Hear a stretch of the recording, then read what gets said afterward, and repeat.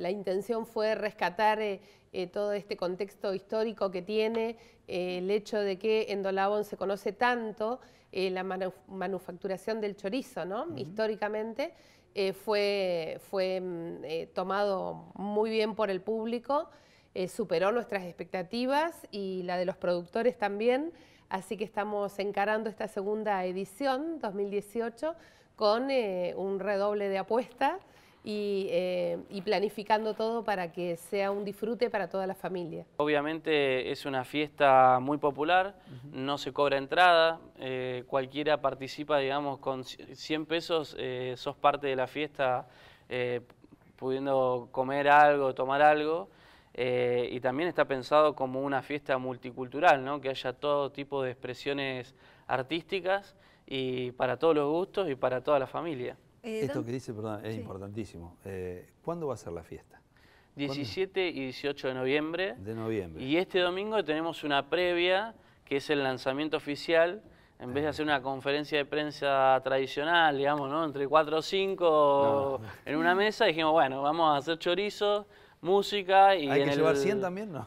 También, sí, sí, por supuesto. Hablaba, hablaba, de los 100, pues va a ser para noviembre. Hoy 100 pesos con, la depreciación que tenemos de, la moneda. Exactamente. Bueno, y vemos en imágenes también esa la calle principal de Dolabón repleta de gente. Este año eh, decía María José que van a redoblar esfuerzos, ¿no? Vuelven a poner más puestos. ¿O no? Sí y no instalados sobre la calle Julio Arroca, que es a donde se hizo el año pasado, sino que utilizaremos la avenida 25 de Mayo, que es el doble de ancha, en dos cuadras y también tendremos las laterales eh, abocadas a, todo lo que es puestos de, gastronomía, de cervecería artesanal y bueno, de diferentes eh, opciones que vamos a tener para, para el público. Eh, y déjenme adelantarles, que es algo que nos parece muy importante, de destacar que vamos a tener un puesto de comida sin TAC, Ah, eh, exclusivamente para, todos los, celíacos que sufren tanto el, poder ir a un festival gastronómico y tener que ir con su viandita. Bueno, en este caso vamos a tener un puesto de, comida sin taca donde van a poder a lo largo de todo el día, durante las dos jornadas, diferentes eh, estilos de, ofertas de No queda nadie afuera. no queda nadie afuera. Y si no me equivoco, el año pasado trabajaron de esta forma, ¿no? Em, dar eh, trabajo a la gente propia de Dolabón, el pan, eh, todo lo que se lleva eh, necesario para, llevar esta, esta choriceada adelante, todo con mano de obra de Dolabón. ¿Los ¿Este insumos mayormente son de los productores de Dolabón. En lo que es puestos de venta de chorizo son de productores de Dolabón, porque queremos que la fiesta sea de ellos, que son quienes eh, tienen el producto durante todo el año, quienes lo elaboran y están trabajando. Eh, y bueno, los insumos, todo lo que se pueda abastecer local, mejor. Y bueno, si no, también se, van, eh, se va trasladando este consumo a las localidades vecinas, que hace que se mueva todo un comercio del valle entero, porque incluye a todos.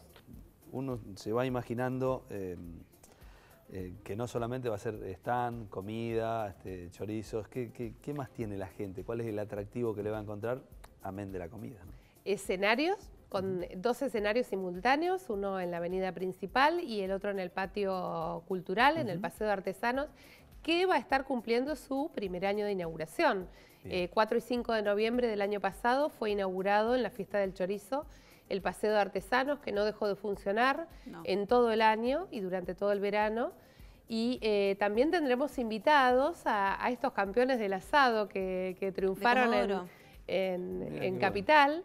Eh, Adrián Gauna y, Rosales, Cristian. Rosales, eh, vienen también, van a cocinar los platos con los que se consagraron y también el domingo van a hacer otra oferta para compartir con la gente y hacer una clase de cocina en vivo. Y también tendremos eh, degustación sensorial de, con vinos orgánicos a cargo de Gastón Godoy que va a estar acompañando a la dupla ganadora del campeonato de asados.